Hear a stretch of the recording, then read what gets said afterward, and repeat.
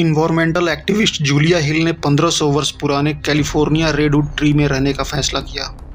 आपको ये जानकर आश्चर्य होगा कि जूलिया ने 738 दिनों तक उस पेड़ में जीवन यापन किया। जूलिया ने यह कदम इसलिए उठाया ताकि उस पेड़ को पैसिफिक लंबर कंपनी द्वारा नहीं काटा जा सके। आपको बता दूँ कि पैसिफिक लंबर कंपनी एक बिल्डिंग मटेरियल सप्लायर कंपनी है, जो कि इस 1500 पुराने पेड़ को काटना चाहती थी। जूलिया ने रेडवुड के पेड़ पर 180 फीट की ऊंचाई पर चढ़ाई की तथा 6 बाई 4 फीट प्लेटफॉर्म पर रहने का फैसला किया ताकि इस पेड़ को बचाया जा सके। जूलिया अपने पास रेडियो इंटरव्यू के लिए एक सोलर फ़ोन रखती थी। शरीर को गर्म रखने के लिए जूलिया खुद को स्लीपिंग बैग में कसकर लपेट लेती थी।